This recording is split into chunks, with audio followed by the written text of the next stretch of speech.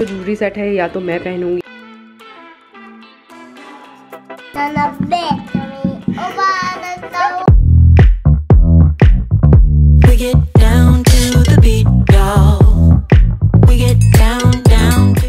Hi guys welcome to my birthday vlog आज शुरुआत कुछ अलग तरीके से हो रही है बिकॉज़ शादियाँ हैं मेरे घर में तो बस वही सब आपको बता रही हूँ कि क्या क्या प्रिपरेशन मेरी स्टार्ट होगी। So these are the saris जिनके ब्लाउजेज मुझे स्टिच कराने हैं। तो एक इस टाइप के कलर की साड़ी है मतलब chiffon this is a pure chiffon sari. बहुत ही सुंदर कलर है इसका. तो एक ये है. उसके बाद, ये साड़ी डिफरेंट कलर की है. ये ब्लाउज़ है. ये मुझे सेंड करी थी इंस्टाग्राम पेज ने. तो ये ऑर्गेन्जा की है. और ब्लाउज़ ऑर्गेन्जा नहीं है. ब्लाउज़ कोई और मटीरियल है. उसके बाद एक ये प्योर सिल्क की साड़ी है. उसका ब्लाउज़ है. तो साड़ी भी अगेन डिफरेंट कलर की है. ये ब्लाउज़ है. तो ये मुझे स्टिच कराना है. Now another one is this sari. This is a beautiful orange है। आपको इसमें कैमरे में रेड दिख रही होगी because of colour difference definitely तो ये महेश्वर सिल्क साड़ी और इसमें ये पूरी हैंड वीव्ड है मतलब हाथों से बनाई गई है तो टेन टू ट्वेल्व डेज़ में बनती है ये साड़ी, जिस रेंज में है रेंज के हिसाब से डिफर करता है। So this is eight eight one four तो हमको उस पर टेन परसेंट डिस्काउंट मिला था तो सात, साढ़े सात कुछ की है, बहुत ही प्रिटी साड़ी है। तो इस इस तरीके से इसका बॉर्डर ये पल्ला है। So very rich looking sari so इसका एक ब्लाउज स्टिच कराने के लिए जा रही हूँ मैं। उसके बाद ऑल्ट्रेशन के लिए मैं ये वाला डेफिनेटली सूट लेके जा रही हूँ, जो मैंने इसका का कबाड़ा किया है। ये देखिए, फट वट गया है। और नेक्स्ट मैं ये वाला सूट लेकर के जा रही हूँ। इसकी भी स्लीव्स मैंने जला दी थी तो इसको भी ठीक कराऊँगी। तो मैंने अपने कुछ लहंगे भी निकाल लिए हैं। ये ब्लू वाला जो लहंगा ना, ये मैंने 2019 में अपने कज़िन की शादी में बना था और इसके ऊपर मैंने ये दुपट्टा उड़ा था दिस गोल्डन कलर दुपट्टा। तो मैं सोच रही हूँ दुपट्टा चेंज करती हूँ तो मेरा जो इंगेजमेंट का दुपट्टा है ना, वो मैंने दुपट्टा निकाला है, क्योंकि मेरे पास लिटरली सात से आठ तो लहंगे ही लहंगे हो गए तो मैं सोच रही हूँ अब सबको रीयूज़ करना स्टार्ट करती हूँ बिकॉज़ कोई मतलब नहीं होता नया खरीदने का। तो इस दुपट्टे को बट इसकी जो बॉर्डर है, ये बहुत ट्रेडिशनल लग रही है। तो मैं इसकी बॉर्डर्स को थोड़ा चेंज करवाऊँगी तो मैं देखती हूँ अपनी बुटीक में जा करके वो जो डिज़ाइनर हैं वो काफ़ी अच्छे सजेशंस भी देते हैं। तो उनसे पूछूँगी कि क्या अच्छा लगेगा या कुछ अलग दुपट्टा इस पर बनवाया जाए क्या किया जाए। कैसे इसको रीयूज़ करा जाए? तो let's see I take suggestions and देखते हैं वो जो भी सजेस्ट करेंगे। और अभी फिर मैं निकलती हूँ मॉल के लिए। तो yes let's go hi guys तो अभी हम लोग जा रहे हैं डीवी मॉल एक्चुअली कुछ एक दो काम था। पहले हमने सोचा था मूवी देखेंगे बट मूवी uh, का प्लान कैंसिल हो गया बिकॉज़ आज मेरी मदर इन लॉ आ रही है उज्जैन से। तो जब हम लोग उज्जैन से आए थे तो, तो हम लोग के जो नाना जी हैं उनकी एक्चुअली थोड़ी हेल्थ uh, में प्रॉब्लम आ रही थी। थोड़ी हेल्थ इश्यूज़ बिकॉज़ एज भी बहुत ज़्यादा है। तो मेरी मदर इन लॉ वहीं पर रुक गई थी। थोड़ा देखने वेखने के लिए और हम लोग आ गए थे वापस बट आज वो निकल रही है वहाँ से तो आते आते उनको भी पिक करेंगे एंड मेरे ननिहाल साइड में ही शादी है सारी। आज मेरे को थोड़ा सा, आज मैं काफ़ी बेटर हूँ, तीन दिन से अदरवाइज़ मेरे को बहुत ज़्यादा कोल्ड हो रखा था एंड मैंने कोई भी टैबलेट नहीं खाई। उसका सबसे मेन रीजन ये था, मेरे फादर लोग बहुत डांटते हैं, अगर टैबलेट खा लो तो कि उसको निकलने दिया करो अदरवाइज़ वापस रिपीट होता है। And that's true because twenty days पहले मुझे कोल्ड हो रहा था और मैंने दवाई खा के उसको दबा लिया and within twenty days में मुझे वो वापस बाहर आया। तो इसलिए मैंने दवाई नहीं खाई इस बार की बाहर निकल जाने देती हूँ और मैं सारा स्टीम और जैसे जैसे मैं स्टीम ले रही थी वैसे वैसे वो और बढ़ता जा रहा था बट आज काफ़ी बेटर है। थ्री डेज़ रहता है थ्री टू फोर डेज़ तो आ, कल मुझे लगता है मैं ऑलमोस्ट ठीक हो जाऊँगी। आज रिपब्लिक डे भी है और बस अब दो दिन में मेरा बर्थडे है। तो इस बार मुझे बर्थडे की कुछ एक्साइटमेंट नहीं लग रही है। मतलब एज सच सिंपली हमारे प्लान रहने वाले हैं। वो मैं शूट करूँगी बर्थडे व्लॉग हुआ मन तो शूट करूँगी बट इस बार मेरा बिल्कुल भी बर्थडे व्लॉग शूट करने का मन नहीं है। So let's see let's see तब का तब देखेंगे। So yes let's go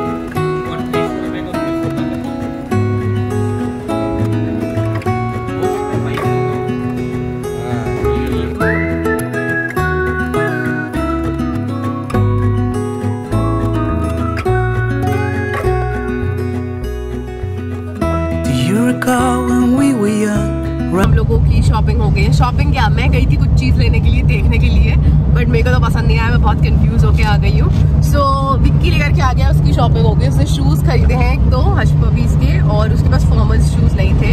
एक वो लिया है और क्या लिया है? पापा के लिए एक जैकेट लिया पापा जी के लिए ऊपर वाले। एक जैकेट लिया है one buy one get one थी तो एक विक्की ने भी ले ली और एक लोअर लिया दैट्स इट बस इतनी शॉपिंग करके हम लोग आ गए हैं और अब मैं शायद घर पे रुक जाऊँगी और विक्की निकल जाएगा मेरी mother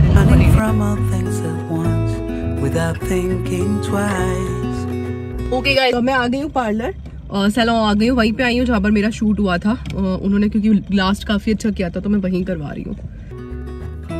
And I knew it would catch up and that we would be the ones hi everyone steam spa type का ले लिया है वॉश भी करवा लिया और बहुत अच्छे से कंडीशनिंग वगैरह मतलब प्रॉपर स्पा करवाया है। लेट्स सी कितने दिन चलता है। आप जैसे पार्लर में जाते हो या सलाव में जाते हो तो होता है ना यूजुअली आपको बोला जाता है, अरे, आपके तो बाल बहुत डैमेज हैं, आपके बाल बहुत ये हो रहे हैं, बहुत वो हो रहे हैं। अगर आप थोड़े दिन और लेट आती तो आपके बाल पूरे जल चुके होते ऐसा सब मुझे भी बोला गया, जबकि ऐसा कुछ नहीं हुआ था मेरे बाल। अगर मैं खुद से भी घर पर ये करती हूँ तो इफ़ेक्ट आ जाता है। तो यूजुअली पार्लर वाले बहुत डरा देते हैं। तो मैं बस ये बोलना चाहती हूँ कि कभी भी डरना मत, ऐसा कुछ नहीं होता है। सो so, uh, मैंने आपको बताया था ना मेरा दुपट्टा अभी आ गया है मैं आपको दिखाती हूँ। This is the dupatta. ये है और ये बॉर्डर पतली हो गई है। अब ये क्या मैं किसी पे भी ओढ़ सकती हूँ? तो वैसे जो मैं कॉम्बिनेशन यूज़ कर रही हूँ वो है ये वाला ब्लू एंड दिस ये बहुत ज़्यादा डार्क एंड वाइब्रेंट लग रहा है इतना वाइब्रेंट ये है नहीं बिकॉज़ ऑफ़ कैमरा दूसरा उसके बाद जो मैंने ये तीनों के संगीत में पहना था ना ये वो है।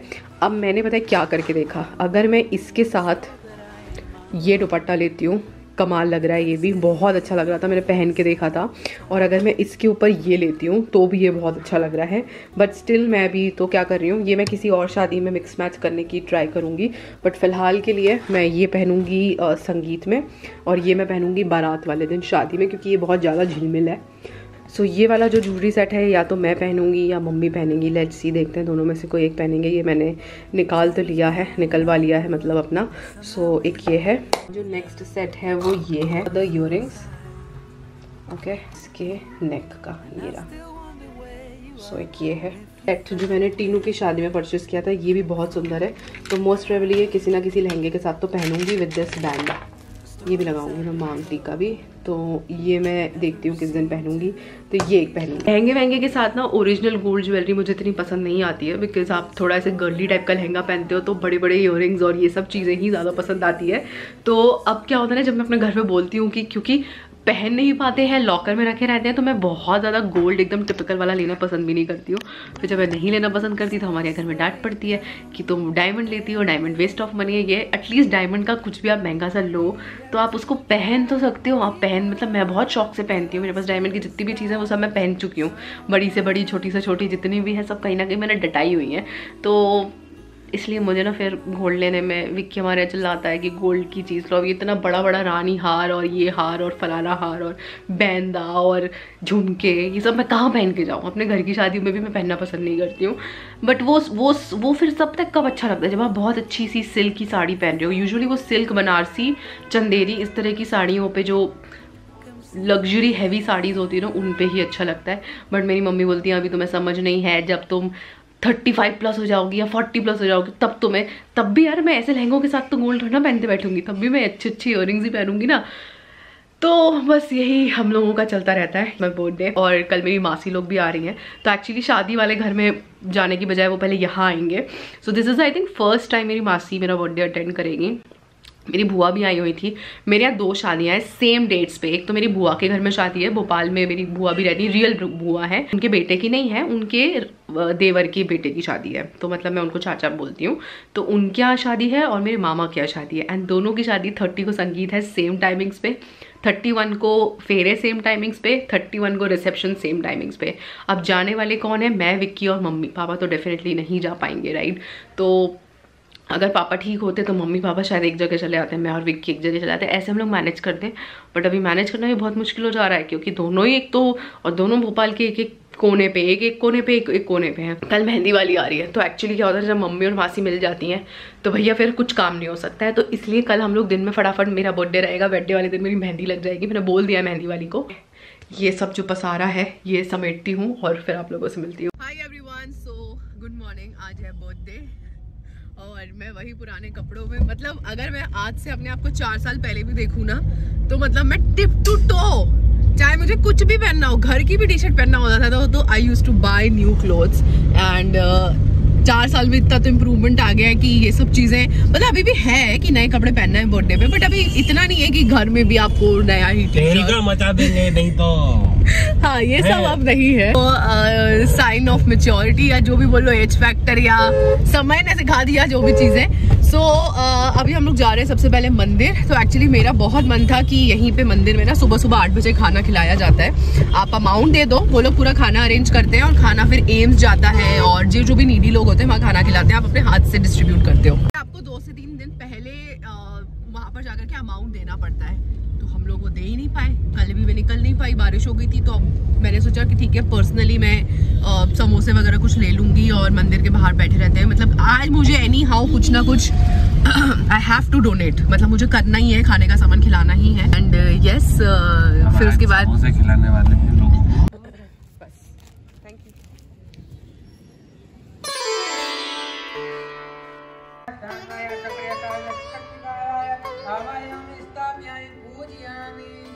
जस्ट मैं मंदिर गई थी वहाँ पर एक भैया थे ब्यूटीफुल मतलब मैं उस बैठ हम लोग बैठ गए थे वहाँ सुनने के लिए। आपने फ़र्स्ट मैंने फ़र्स्ट टाइम सुना आप तो हर सैटरडे विक्की हर सैटरडे आता है तो विक्की ने सुन रखी होगी। मतलब वो आकर के बांसुरी बजाते हैं और इतना ऐसा लगता है आपको कि आप सुनते ही जाओ इतना पीसफुल म्यूज़िक जो नहीं होता कभी कभी आप योगा के लिए मतलब मैं जब योगा वोगा कर रही होती हूँ तो मैं इस तरीके का म्यूज़िक बजाती हूँ। शांत कामिंग म्यूज़िक शाम को कभी कभी बजाना पसंद करती हूँ कैंडल वैंडल जला के। वो वैसा म्यूज़िक बजा रहे थे live and it was so peaceful की ऐसा लग रहा था बस उनको सुनते जाओ। अच्छा वाला बर्थडे की शुरुआत हो गई है। हम लोग जा रहे हैं डब्बू जी के यहाँ के कचौरी समोसे लेने के लिए, जो हमारे फेवरेट है, वही हम सबको खिलाने वाले हैं।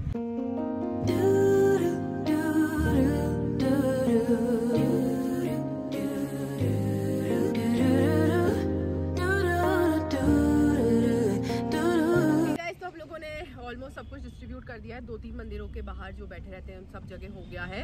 एंड वहाँ पर जब मैं काली जी के मंदिर गई थी ना तो एक बहुत ब्यूटीफुल सोल मिला हम लोगों को। मतलब वो ट्रांसजेंडर था और छोटा ही था मेरे ख्याल से, पंद्रह सोलह साल का लड़का होगा वो। तो उसको मैं समोसे बार बार दे रही हूँ और मैं उसको बोल रही हूँ कि, तू खा। तुम्हारे लिए ये, तुम खाओ इसको। वो खुद नहीं खा रहा था, वो अपना समोसा डिस्ट्रीब्यूट कर रहा था कि मतलब ये खा ले, वो खा ले। तो मतलब कितनी उसके अंदर देने वाली भावना है, वो खुद नहीं खा रहा था। फिर लास्ट में मैंने उसको बोला कि जितनों को भी डिस्ट्रीब्यूट करना है उसको डिस्ट्रीब्यूट कर दे। फिर एंड में मैंने उसको दिया कि अब ये भाई तू खा ले। मतलब मेरा बहुत मन था कि ये खाए। बट वो कितनी अच्छी उसके अंदर वो थी। तो अब हो गया है हम लोग घर निकल रहे हैं। मेरी हालत है वो कैसी होगी बिकॉज़ गर्मी लगने लग गई बहुत। आज अच्छा है धूप धूप निकल गई भैया। कल शादी है, कल और परसों शादी है तो एटलीस्ट बारिश वारिश जैसा मौसम ना रहा और थोड़ी धूप से क्या गर्मी भी आ जाती है ना। ओके okay, तो ये निशा का केक आ गया है ऑन टाइम एकदम और जस्ट उसी के थोड़ी देर बाद मेरी एक और फ्रेंड अश्विनी उसने केक भेज दिया था तो दोनों केक आ चुके हैं। ओके गाइस तो हम लोग निकल चुके हैं ताज जा रहे हैं आला काटे करने के लिए बिकॉज़ ज़्यादा बुफे वूफे खाने का मन है नहीं। तो जस्ट ऐसे ही फॉर्मेलिटी करने के लिए जा रहे हैं बाकी अ, इतना मेरा थ्रोट एकदम परफेक्ट है नहीं तो इसलिए मैं अभी ज़्यादा बाहर का खा भी नहीं रही हूँ। सो यस एंड थैंकफुली आज वेदर भी ठीक है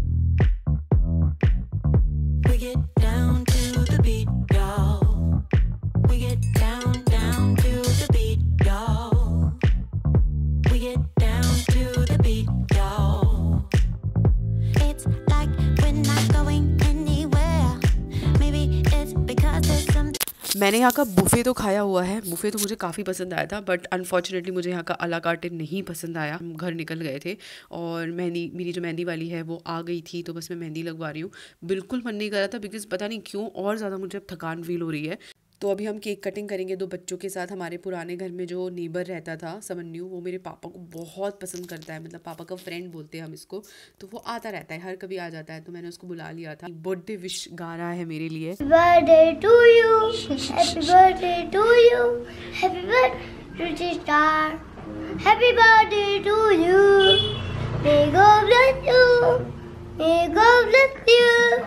Happy birthday to you. प्यारा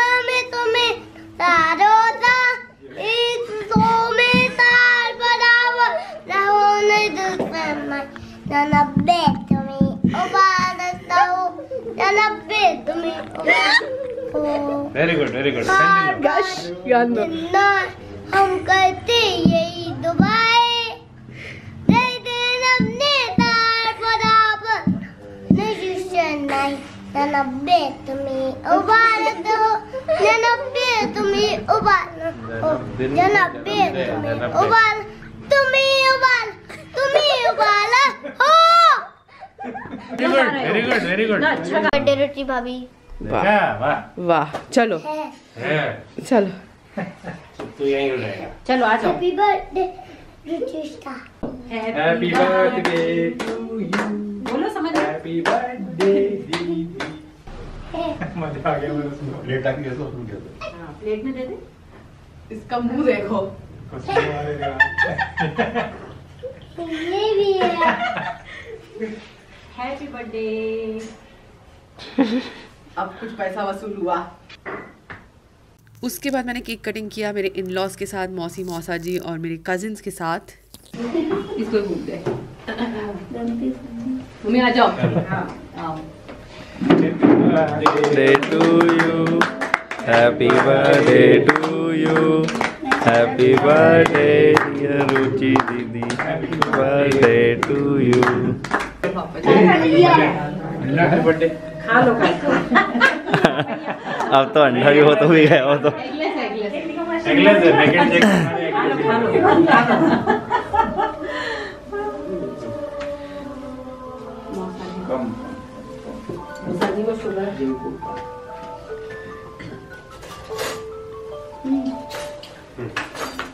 अच्छा वो पहले खिलाया।